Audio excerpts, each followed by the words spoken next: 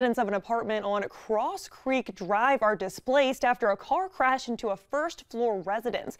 According to a Facebook post from the Charleston Fire Department, it happened today just before noon.